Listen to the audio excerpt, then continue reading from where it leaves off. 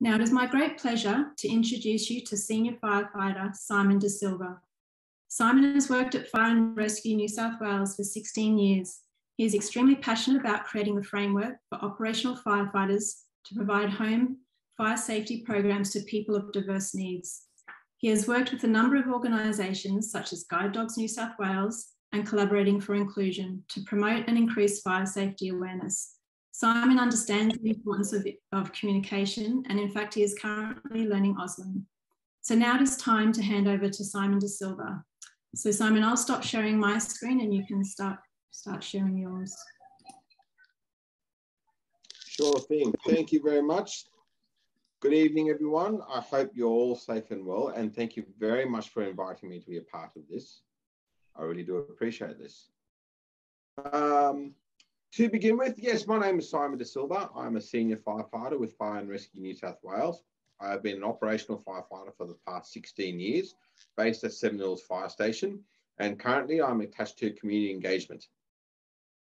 I'll get right into the slideshow. There are a few slides to get through, but there will be a couple of opportunities for questions uh, in case anyone has any questions that they want to type in.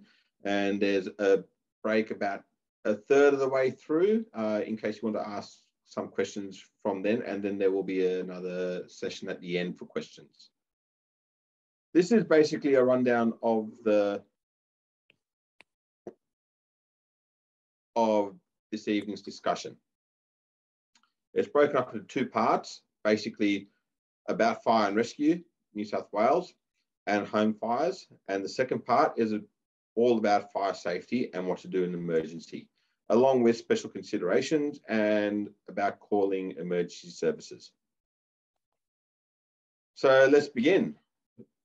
Fire and Rescue New South Wales. We are a government emergency service having both male and female firefighters of all types of diversity right throughout the state and right throughout the ranks. We provide assistance 24 hours every day of the year. Every day of the year, a fire station is open. Uh, they just might not be there depending on whether they're at the call or not. What do Fire and Rescue New South Wales do? Well, a very simple one is we put out fires, but we do a lot more than that. We are the combat agency for hazardous materials. In addition to that, we assist paramedics and police at incidents such as motor vehicle accidents, uh, along with providing lifts for large patients or providing entry in case uh, someone has fallen down and hurt themselves and are unable to get to the door. During disasters, we assist other agencies in support roles, the most recent being New South Wales Floods, where we provided assistance both operationally and in community liaison to the SES. We provide interstate and international response to disasters, uh, mainly things like bushfires, uh, such as the big bushfires that we always see in the United States.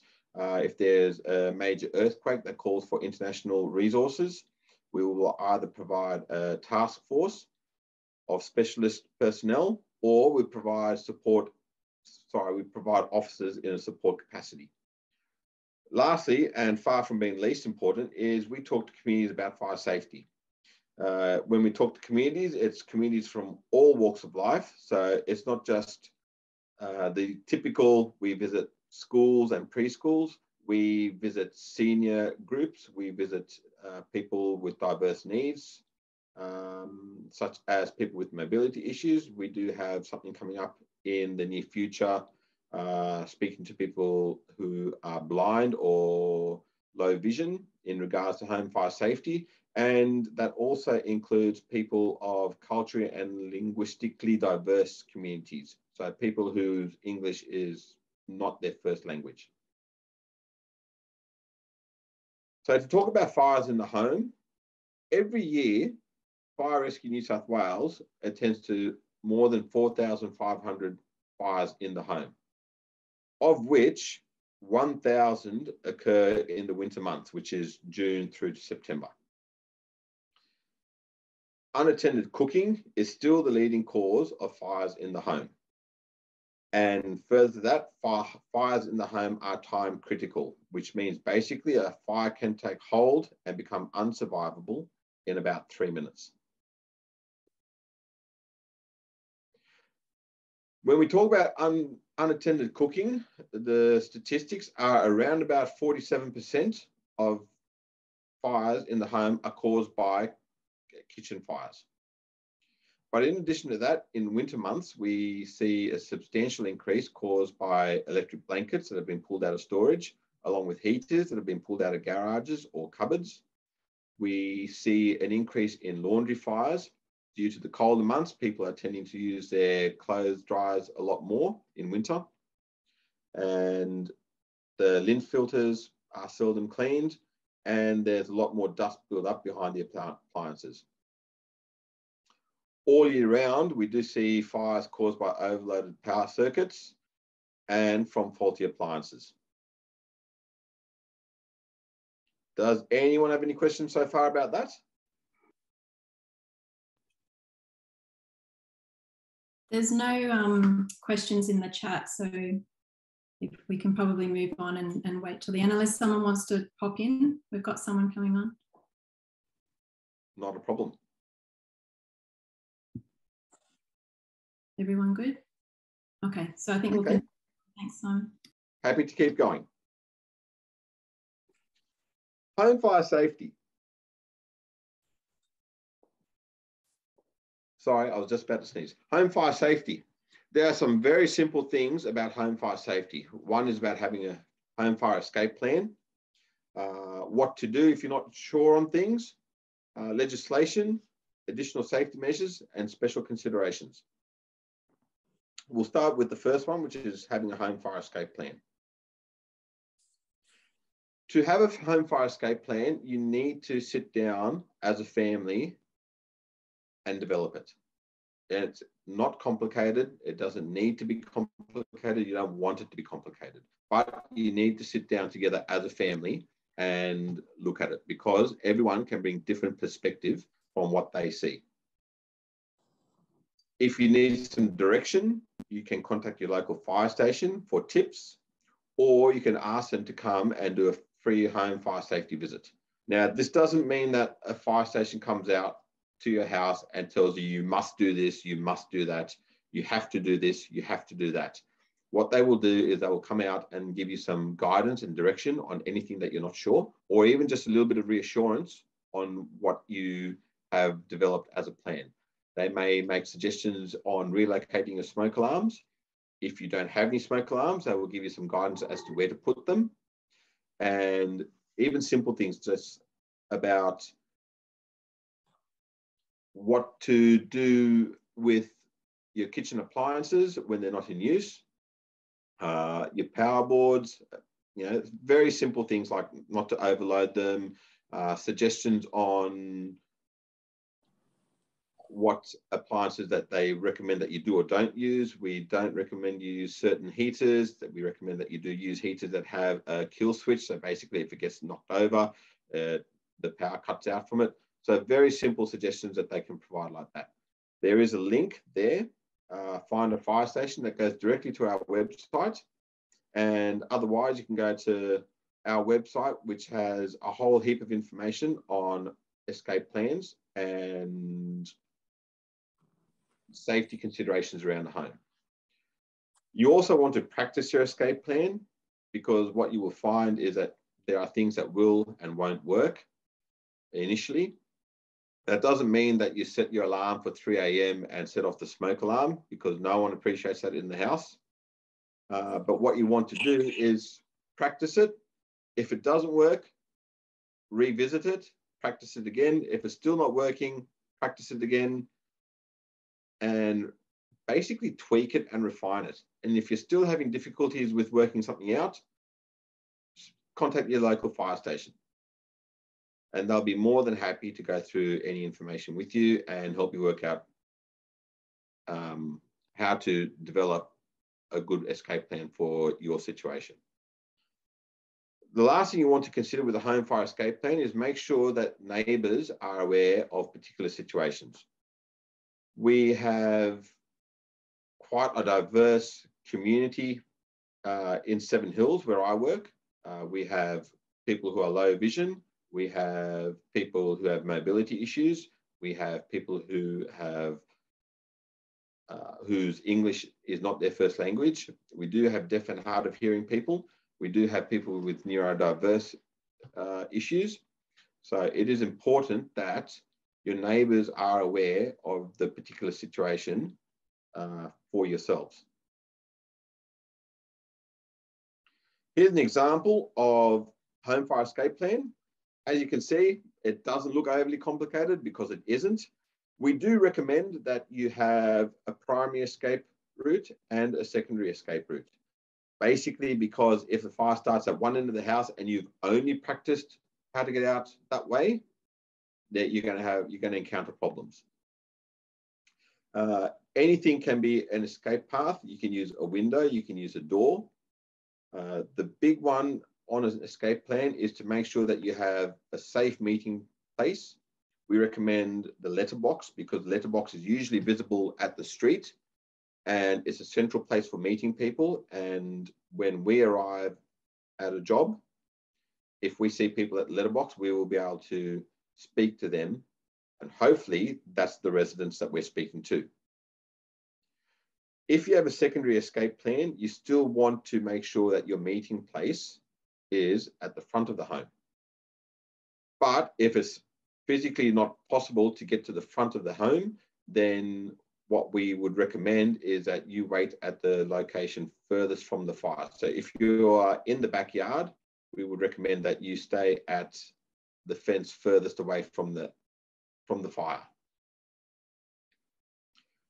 These examples can be found on our website along with information on how to draw up an escape plan. Uh, there's an example of another one. And now we come on to smoke alarms. So the legislation for smoke alarms is that you are required to have one working smoke alarm per floor. Fire Rescue New South Wales actually recommends one per bedroom, one per living area, as well as one in the garage. When we talk about bedrooms, it does also include detached living locations. So if you have a garage that's been converted to a bedroom, you are required to have one there.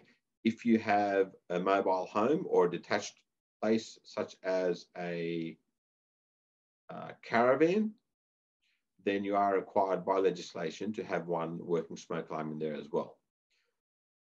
As an example, my sister has a split level home. So she has a lower floor, a main floor, uh, upper floor for the bedrooms, and an attic which is being converted into a living slash bedroom area.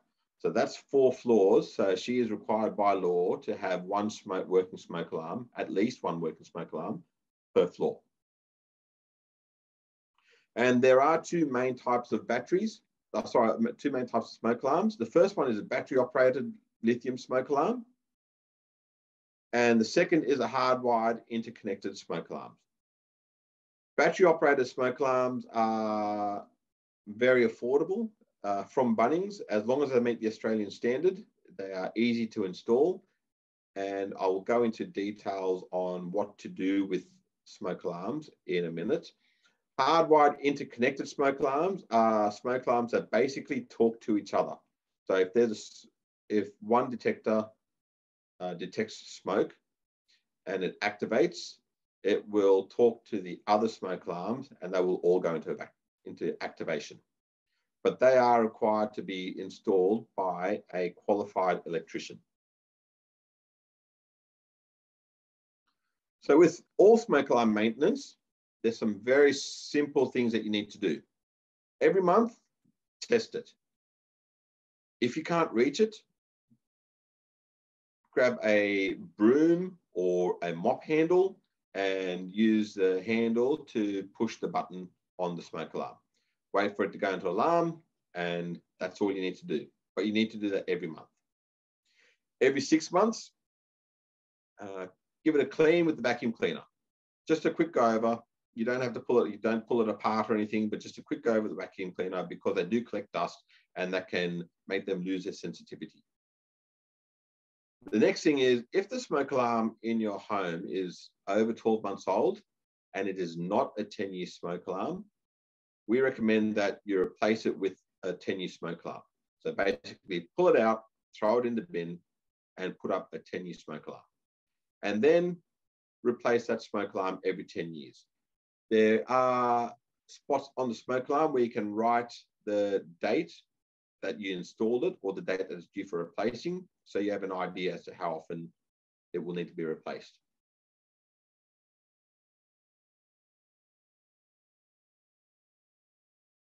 In regards to deaf and hard of hearing smoke alarms, it's a little bit more complicated. Uh, the most common form is a three-part smoke alarm, and it comprises of the smoke alarm unit, which should be placed outside the bedroom.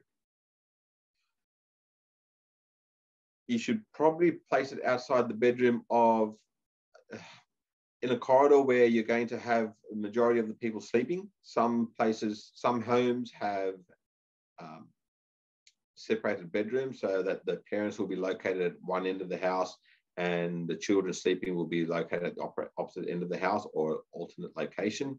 So what you need to determine is where it is ideal for you to have that smoke alarm unit placed. Secondly, there is a strobe light unit that does need to be plugged into a power point but that is portable and can be moved around the place. And the third part is the vibrating pad or what's called, called a bed shaker. And that is placed under the pillow of someone who is deaf or hard of hearing. And when the smoke alarm is activated, all three of these will go into alert. So the strobe light will flash and the vibrating pad, the bed shaker, will start to vibrate. It is recommended that you have one per bedroom for each deaf or hard of hearing person. But we are aware that the costs of these are quite inhibitive. They're looking at anywhere up to $700 plus. Uh, Fire and Rescue New South Wales has been trying to work with suppliers for affordable options. And we are also aware that although the legislation states one per floor, the NDIS only provides one per household. Sorry, that slide should say household. I will correct that. But Fire and Rescue New South Wales is also being liaising with NDIS to review. So far, we're yet to see any results, but hopefully they will be able to review it and maybe consider changing that.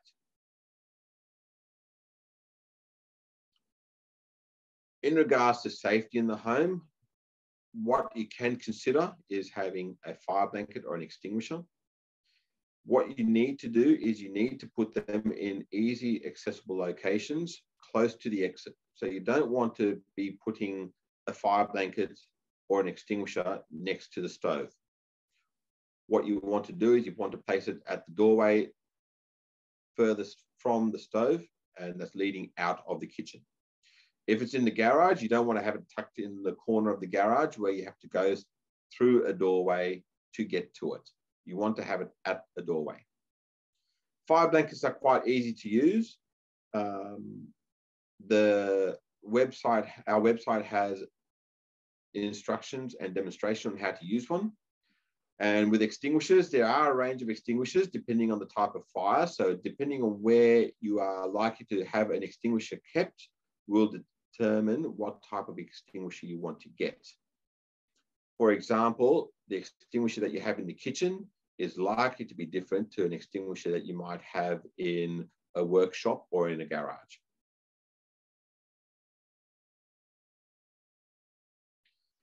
It is really important to understand something really, really simple.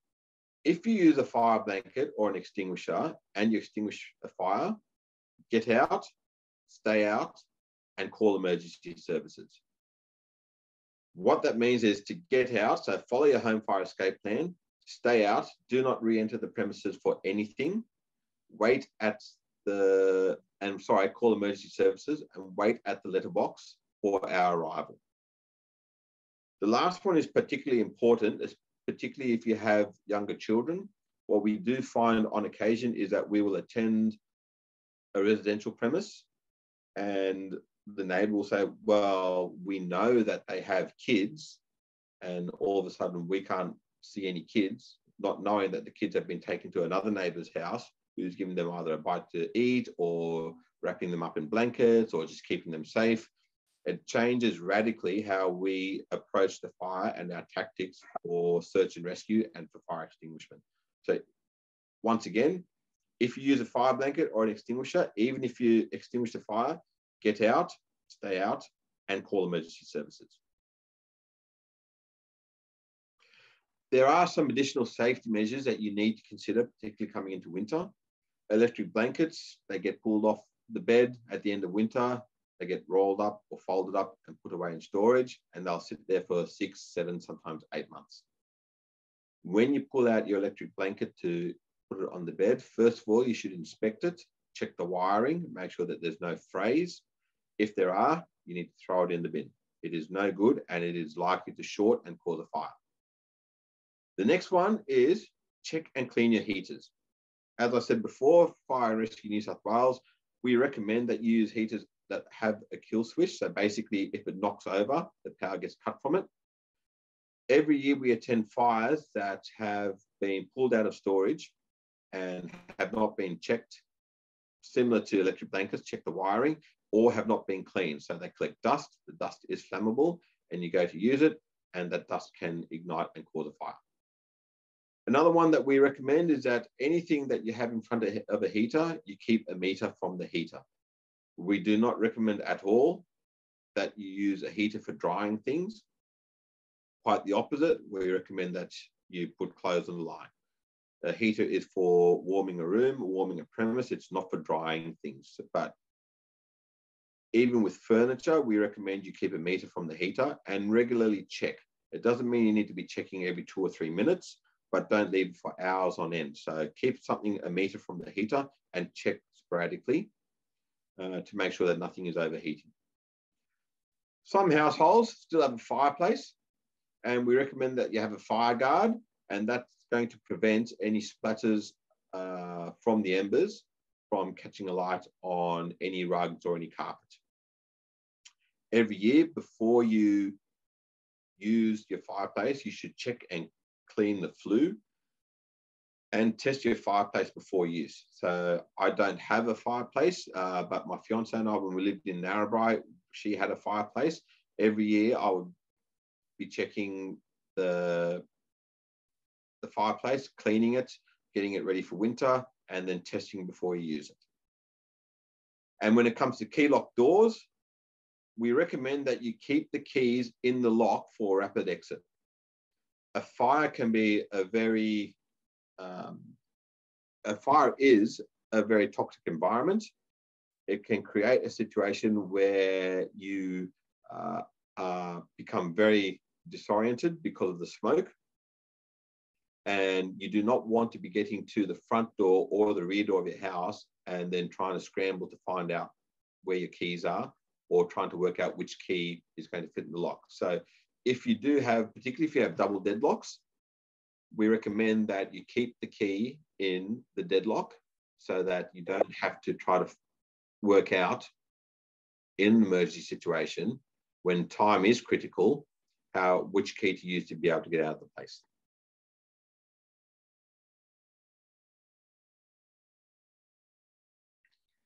Here's some really simple instructions on staying safe indoors. Uh, a lot of it's highlighted on what we've covered already, so ensure you have working smoke alarms. Keep looking when cooking. Do not leave uh, cooking appliances unattended. If you have something on the stove, you need to be in the kitchen. Never use external heating equipment inside your home. So don't use the external heaters uh, that you can find at locations. Don't use barbecue cylinders indoors.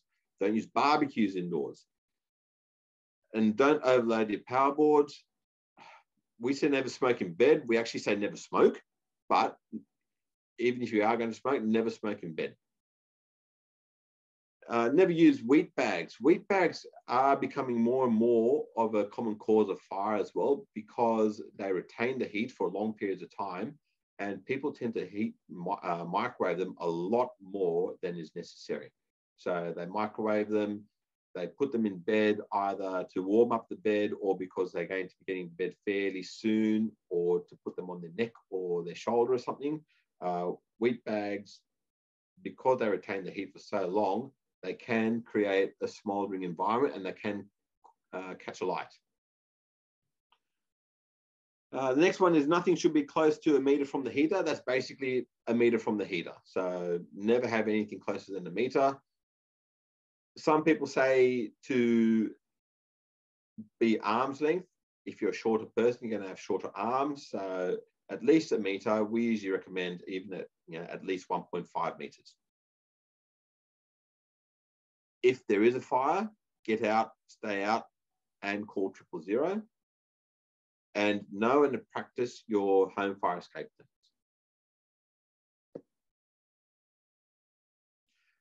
There are some special considerations for to be that you need to look at for people who are deaf and hard of hearing. Uh, smoke is uh, when you go to sleep, your nose switches off as well. So you are not going to smell smoke in your sleep. Uh, it's been researched, it's been tested, and it's been proven that once you are asleep, you are not going to smell smoke. So what we ask you to do is at night time, turn off all your appliances before you go to bed. Don't have your dryer running at night time. We recommend that you keep children's bedrooms close to the parents' bedrooms where practical. That doesn't mean that you go and renovate a house to create a bedroom that's closer to children's rooms. But if you're in a position to, we recommend that you keep child's room close to the parent's room. Hearing aids. My dad used to leave his hearing aids everywhere. If he went to the bathroom to brush his teeth before bed, sometimes he'd leave his hearing aid there. If he went to grab a drink of water before he went to bed, he'd leave his hearing aid in the kitchen. We recommend, we highly recommend and strongly recommend that you keep your hearing aids close to you when you're going to sleep. So either on the nightstand, uh, not in the bedside drawer because it can be difficult to scramble at night time and try to find it, but keep it in the same location along with spare batteries.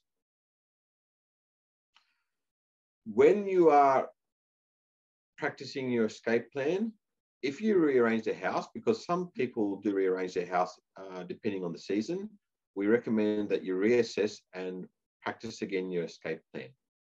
Um, once again, a fire in the home, particularly at night time, is very disorienting. Uh, the smoke makes it difficult to see, it makes it very difficult to breathe, and it impacts on your ability to think. So, if you are going to rearrange for winter or summer, then you reassess and practice the new escape plan.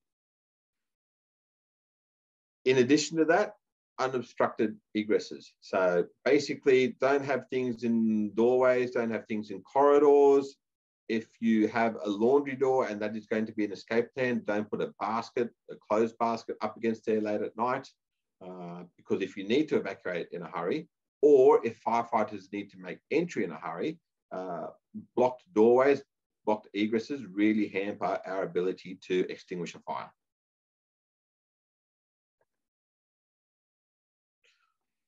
When you need to call emergency services, I don't know anyone who has had to call, sorry, I don't know if any of you have had to call emergency services. Normally you would dial triple zero. It goes to a national operator. They will ask you what state, and so we would say New South Wales. They would ask you then uh, what service do you want, fire, police, fire, ambulance, and then you tell them whether which one you want and they will connect you to the emergency service in that state. For deaf and hard of hearing people, there is uh, a slightly different option, uh, and it's called the National Relay Service. Now, the National Relay Service doesn't only field emergency services calls from deaf and hard of hearing people. But what they do is they prioritize emergencies or over any other call. So if it's an emergency call, it goes to the front of the queue. They will relay your information on your behalf to the emergency services, and they will inform the emergency service that there are deaf or hard of hearing household members. On their website, they have step by step and they're pretty easy to understand and follow instructions. And there are a number of ways that you can contact the NRS, such as Uh, via the NRS website, you can actually jump on their website and log an emergency call. Or you can go to a chat style system uh, via the NRS chat website, or you can do it by SMS relay, and it's basically a text uh, conversation that you have with them. Uh, and there's a text and listen option for people who are hard of hearing. That's the number for the NR, NRS uh, for mobile phone. And it is highly recommended that you put that into your mobile phone and anyone else in your household. There are a number of other methods as well for contacting emergency services. They have video relay. We don't recommend that you use video relay because there's limited scope for priority and its operating hours. Um, it's not 24 hours. They have a captions via the website. Uh, the website's at the bottom of this slide. And they have a voice relay via a 1-800 number. They also have a mobile phone app for those who are tech savvy. It's available across all platforms. Um, I'm not entirely sure how that one works because you have to be registered and you have to uh, be deaf or hard of hearing and you have to provide details on that. And unfortunately, I am not. So I can't uh, log onto the mobile phone app to even have a look at it. Lastly, it is pretty obsolete, is the TTY, the teletypewriter method.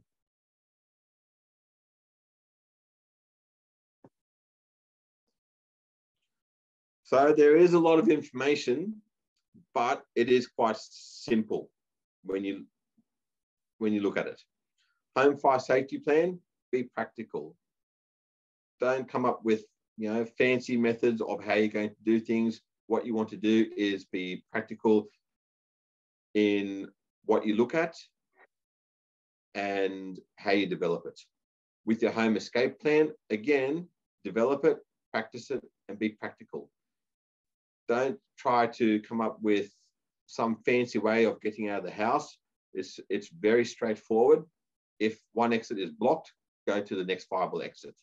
Close your doors when you're leaving a household, and that stops the fire spread, and practice it. Practice it, practice it, practice it until it works. If you're having difficulty with the home fire escape plan, contact your local fire station. They will always give advice. If you ring them up, they can give advice over the phone, or if you go to the website, they are more than happy to come out and do a home fire safety visit, which is basically going over what you have in the house that could be a danger, what you need to consider on your in your evacuation, where the ideal places are for your smoke alarms, and other really simple things that you might not consider.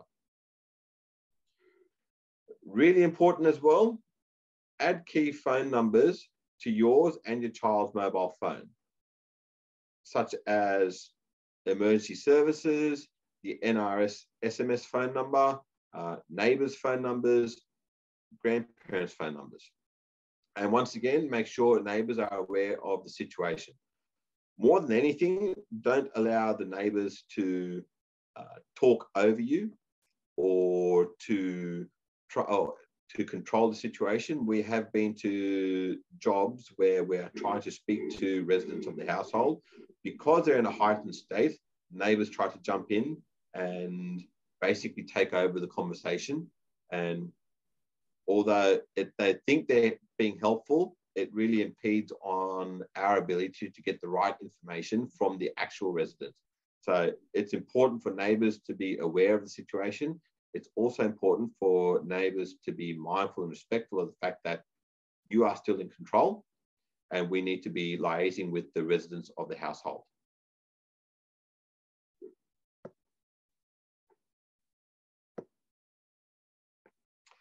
Uh, get out, stay out, call emergency services. Cannot reiterate this enough. We go to so many fires where people think they've extinguished it, being a fire on a stove. So they put the lid on and walk away for a few minutes, come back, take the pot, take the lid off the stove, and the oil's called light again. Then they panic, throw water on it, and creates all sorts of problems because of the expansion rate of water to fire. So get out, stay out, contact emergency services. When you get out, leave by the most direct or your primary escape route.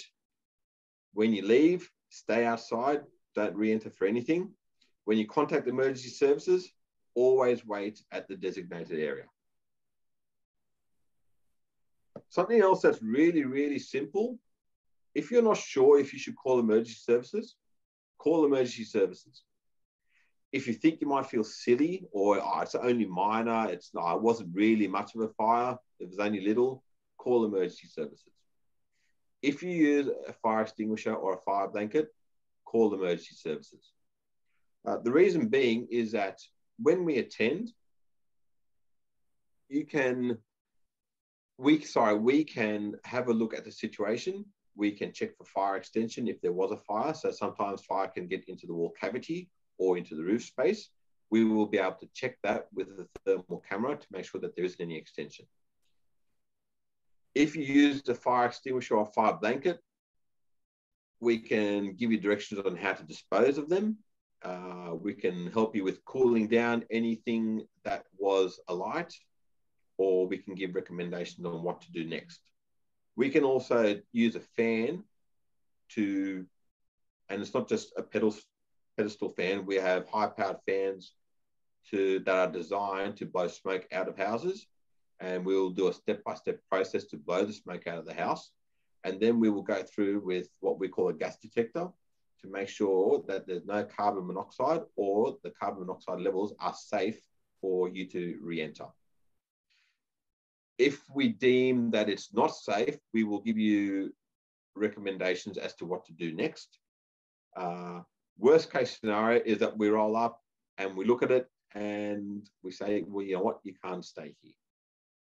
Best case scenario is that we turn up and say, you know what, you've done everything right. There is nothing for us to do.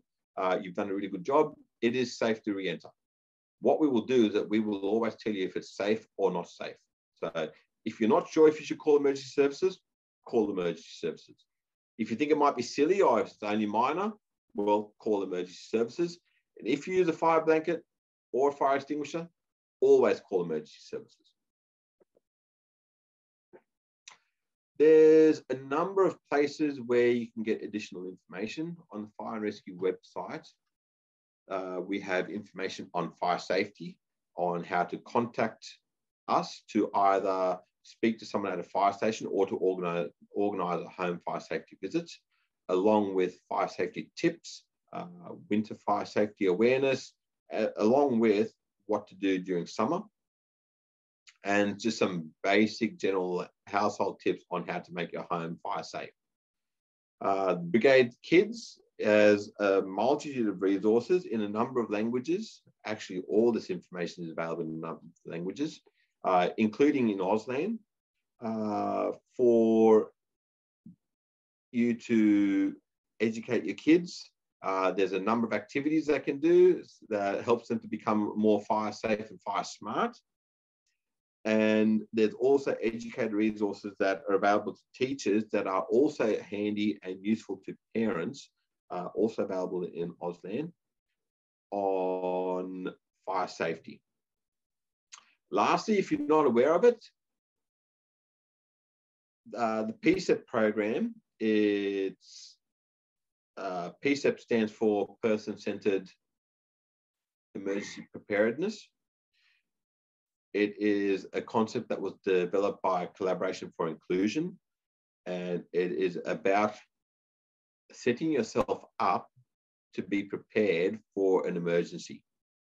Now, it does place more focus on prepared emergencies such as floods, uh, bushfires, where there's uh, time for warnings, and uh, things like earthquakes and everything, how to prepare but it does provide you with a, a workbook so that you can look at your own particular needs, your own things to consider, such as where you keep medications, where if you are blind or low vision, if you have a guide dog, what you need to consider for a guide, dog, if you have mobility issues, what are you going to do with a spare battery if it's a powered uh, motor scooter for you? If you are deaf or hard of hearing, what you need to consider as far as hearing aids go. So it's a workbook that you can go through uh, to tailor to your own needs so that you can be best prepared for an emergency.